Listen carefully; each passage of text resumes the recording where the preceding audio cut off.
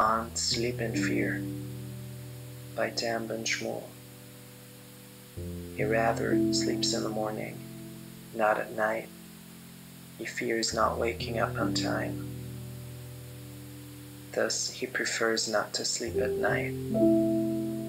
He rather sleeps in the morning, when he no longer has to wake up on time.